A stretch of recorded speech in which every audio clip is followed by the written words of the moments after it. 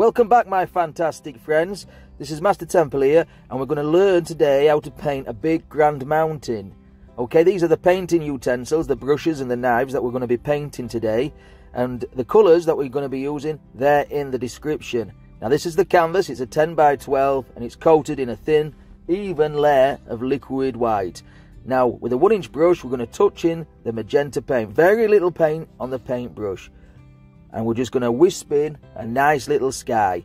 Now this magenta paint, it's an oil paint, we're doing an oil painting today. We're just going to float in a nice little colour, a little glow in the sky. We don't want too much, a lot of it will get covered up by the big mountain that we're going to paint. So we're just wiping the brush down at the bottom, we're going to have some water down here.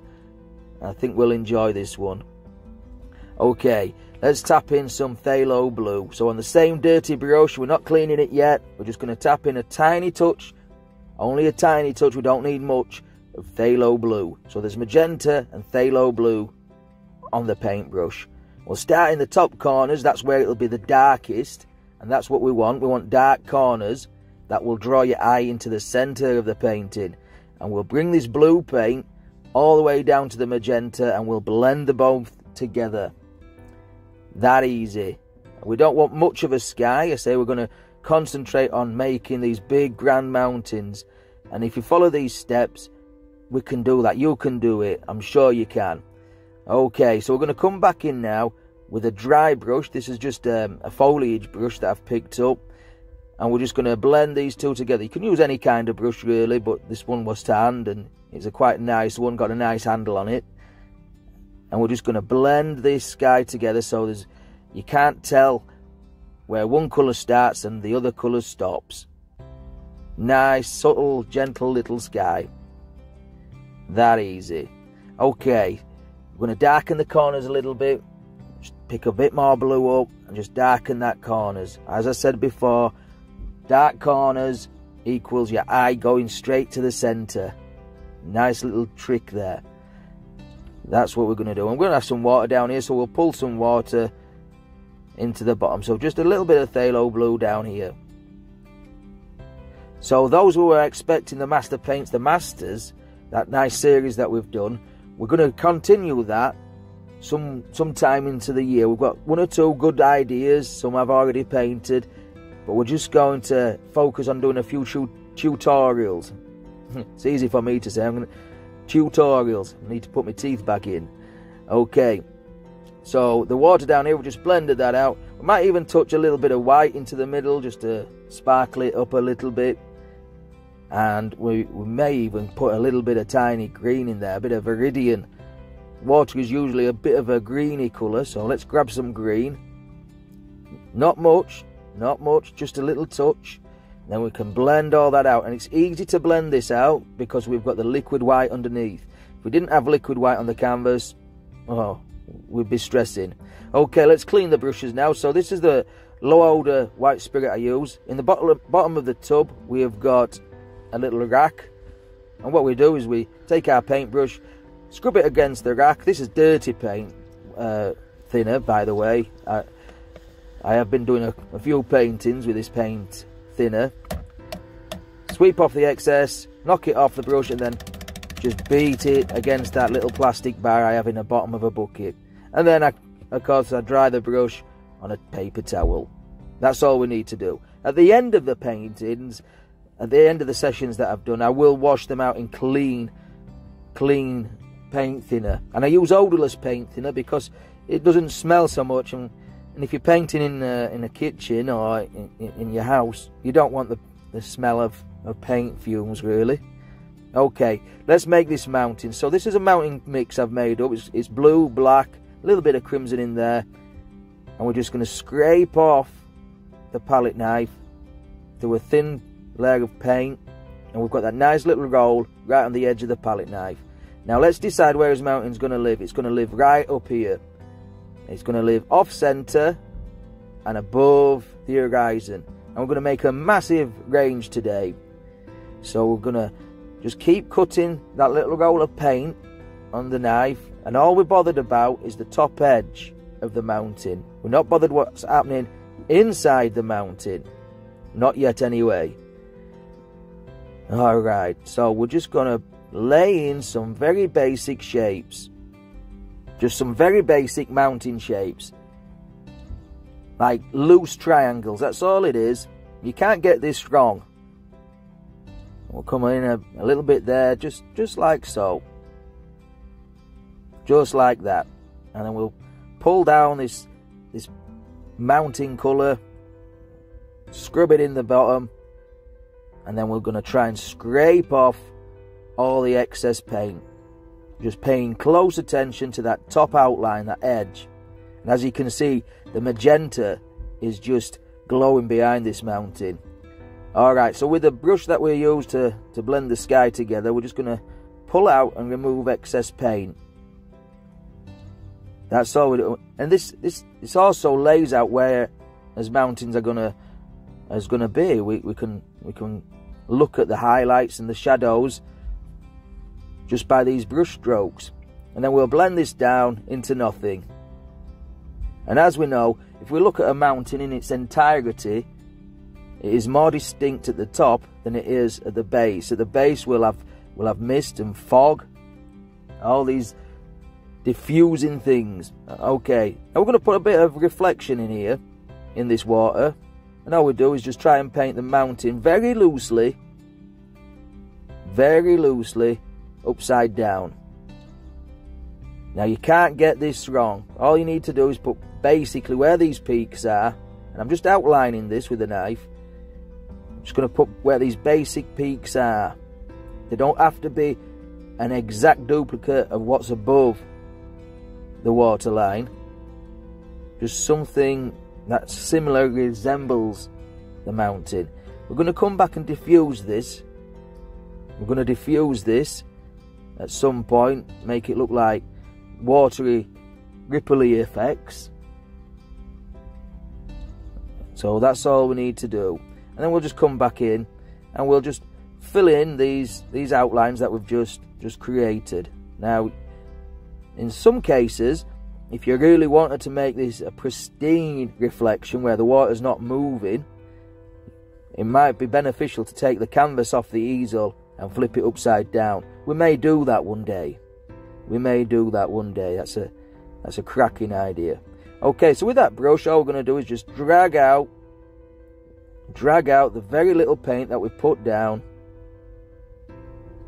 just like that. And then blend that into the foggy, misty area at the base of the mountain. And as you can see, it's not an exact copy of what's above the waterline, but it's close enough for what we're going to do. And anybody could do this. If you've got the utensils, you've got the desire to create, you can do it. Okay, so we're just cutting off a little roll of white paint. This is titanium white. I'm going to start on this big peak and then just very lightly no pressure at all. All we want to do is touch the canvas with the, that little roll of paint. The knife does not touch the canvas at this time. And we're just going to lay in some snow on these mountains. Just like that. Very gentle. Very, very gentle here. we'll just keep going back and cutting that nice little roll of paint off the palette. See, I use very little paint on, on the paint knife. And I find this little knife, you can get different size knives, but this, this little one is ideal for this. It gets very little paint on there and you can make all sorts of nice little peaks, little breaks in the snow where the mountain rock is showing through and that's what kind of effect we want. We shouldn't be scared of painting mountains. They look monumental, they look amazing when done. And we should not be scared of painting them. So just very lightly, very lightly, just the paint on the knife is touching the canvas. Now let's make some shadow colour. So we've mixed a cool blue with a bit of phthalo blue and white. That's all it is. And again, we scrape off that little roll of paint. There's several ways how you can load this palette knife, but this is the the most beneficial way I've found of, of, of doing doing it. And then on the opposite side of these peaks, all we're doing is laying in some shadow colour. Same thing again, same principle. Little amount of paint, very light touch. Now you can even use the small edge of the knife. Just come in here and really sneak in there and we'll put some put some shadow colours on this peak as well. Just like that. We don't want we don't want any peaks being left out. There's nothing worse than a cross mountain. okay.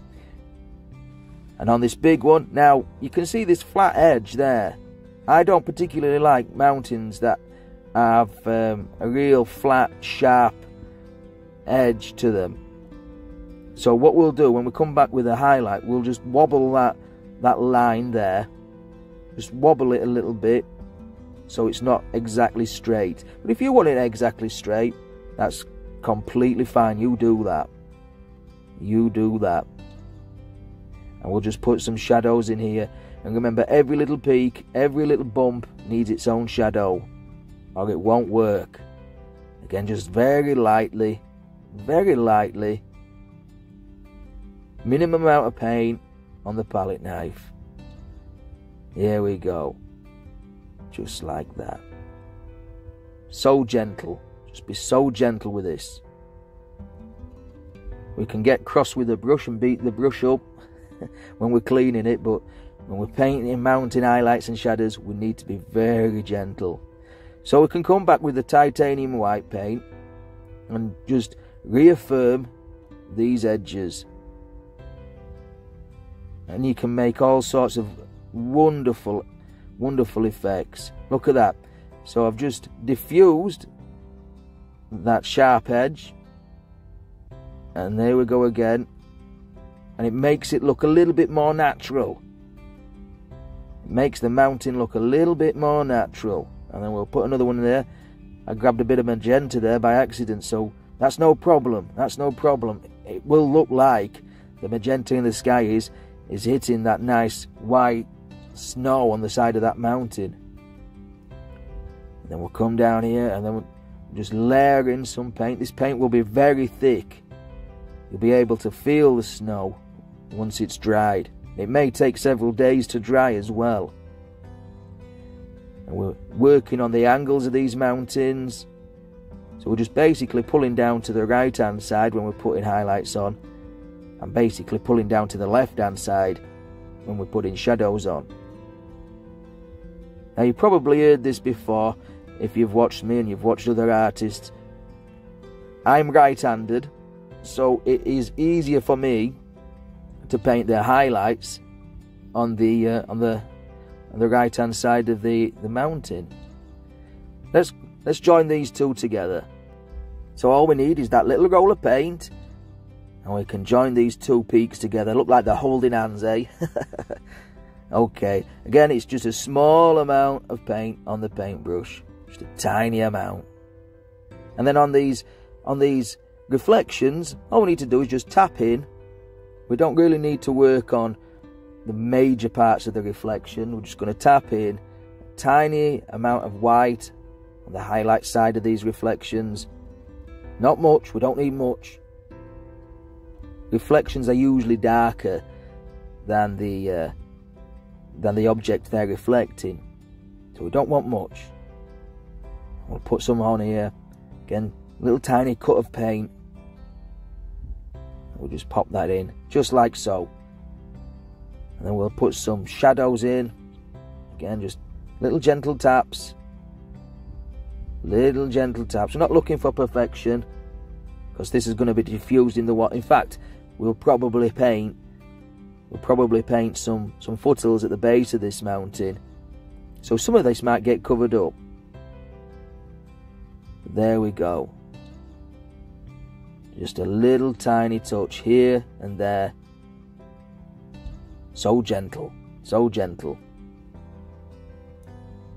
That's it. And you can do this. I'm sure you can. I'm sure you can. Anyone with a desire to paint and create can do this. Now, with a dry brush, all we're going to do is just flick up. Flick up. That's all we're doing. Forgive me for getting my hand in the way. It usually happens. We're just going to lightly flick up, hardly touching the canvas with the paintbrush. I know it's hard to see, but that's what we're doing. This is a very clean, very dry paintbrush. And then just gently across. And you see how we've diffused those reflections so you really can't tell if they're wrong or right. That easy. That easy. And then let's just diffuse the base. So like we said, if we look at a, um, a mountain in its entirety, it is more distinct on the top than it is at the bottom. So let's just, just tap. All we need to do is just tap that firm, dry paintbrush. And all this does is just, it just creates wonderful fog down at the bottom of these mountains. So when we put another layer on, it sort of separates it separates, which is a very good, neat little trick. And then just gently take out the tap marks, bring everything together. Now let's put a foothill in there. So on a fan brush, we're just getting some of that that shadow mountain colour, make it a little bit darker in, in places, just add a bit more phthalo blue. And then just going to tap in where a nice little foothill would live. Now look at that. Already we've painted for what 15 minutes or so and we've created this big wonderful epic mountain and you can do that just following those few little steps that we've taken. You can do that. Now we're just going to darken this this little foothill here. There's lots of little trees little bankments all living far far away. You can't tell individual trees. You can't tell you know what's out here really. It's just basic shapes and basic colours. And that's all you see in nature. Things that are really far away. Basic shapes basic colours. And that's all we need to do. And this just lives on your fan brush. All you got to do just shake them free. Now on a one inch paintbrush we're going to just diffuse the base of that I know it's hard to see but we're just going to continue with the fog. So all we're going to do is just maybe touch a little bit of titanium white into this paintbrush but just below that footer line, all we're going to do is just diffuse that. So then when we come back in now with the with the fan brush, same colour on there, just darkened it a little bit more with a little bit more phthalo blue. That's it. We're just going to pick out some individual humps and bumps that live down here. But you need that misty area between the, both of these planes. And it, this creates distance. So we'll just put that little bump up there and then what we'll do we'll come back in and we'll diffuse the base of this one.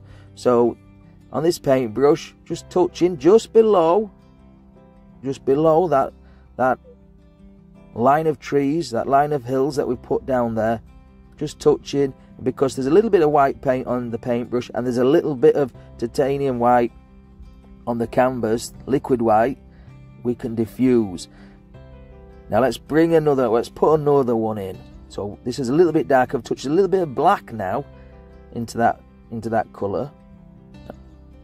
Not cleaned the paintbrush yet. We don't need to worry about cleaning the paintbrush. All sorts of colours will come out the paintbrush as we continue to tap. And we've just created another another layer. Now let's diffuse the base of this one one more time. Just touch just below. Just below that line. We don't want to diffuse the top and that will create mist and fog that live down there. Now let's reflect some of these. We don't want to carry on putting all these little foothills in, even though it's fun and looks good. We don't want to carry on doing that. So we're going to grab some of this dark paint and we're going to make some reflections of these little hills. We've got the reflections of the mountains in the water, and like I've said, we knew we were going to cover them up, didn't we? But it works. It works, and you can do it. It'll work for you. Give it a go. There's nothing stopping you giving it a try.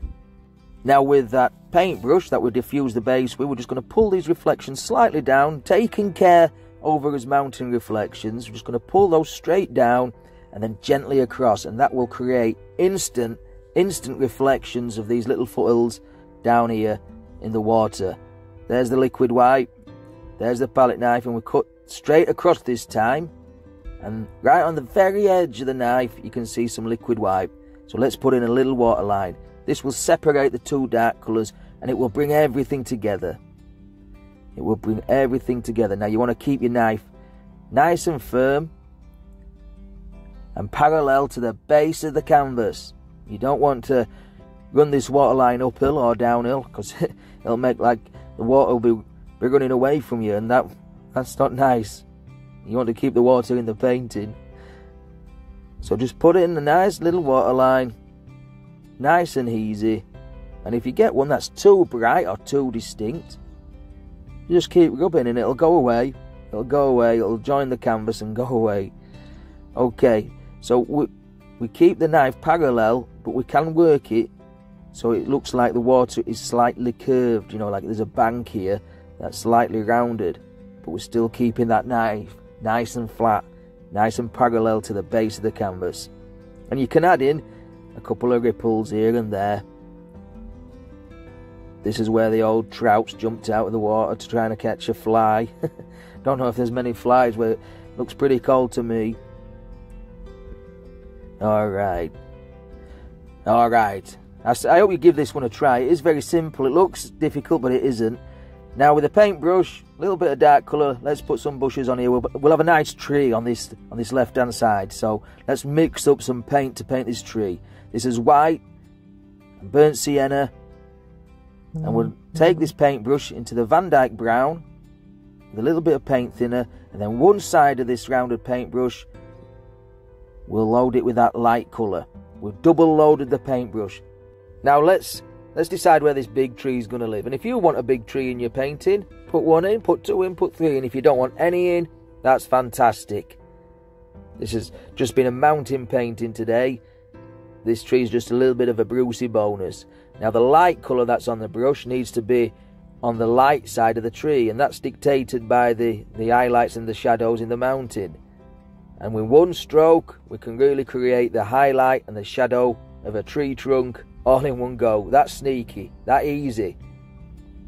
That's all we needed to do. Just just load the brush full of brown paint, thin brown paint, and then all we're gonna do is just take one side of the paintbrush through through that highlight colour we made.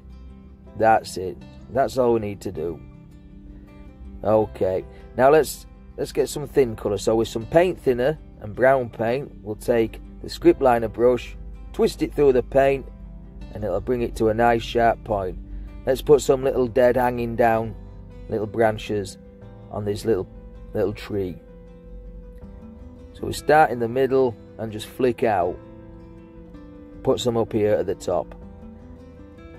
There we go. Now we could leave this just like this, like it's a tree that's passed away, but i have changed my mind. I think we're going to make like a Scots pine that lives out here. So we'll have some some branches that reach out to the sky.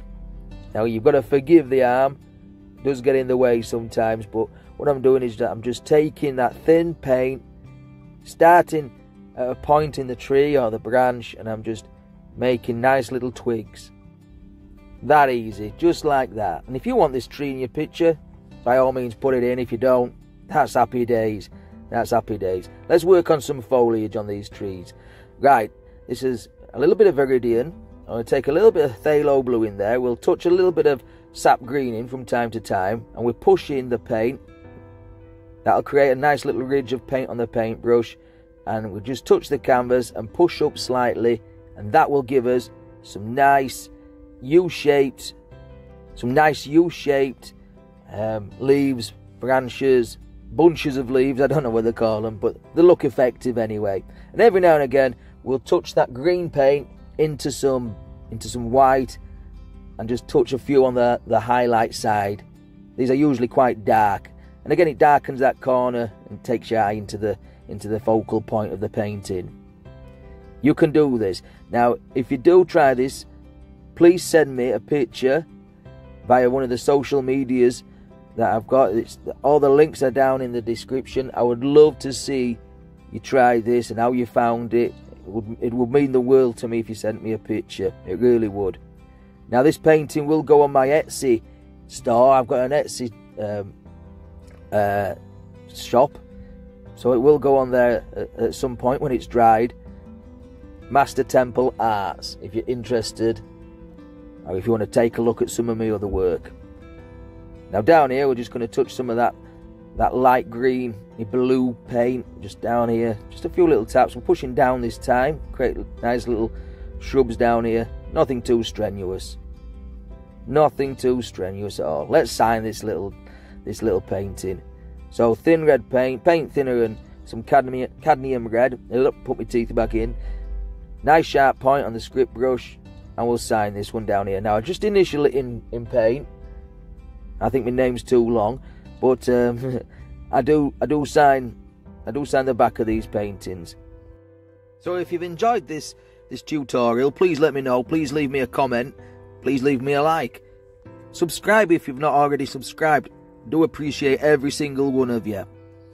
Now, until next time, my fantastic friends, do take care, stay safe, and as always, happy days.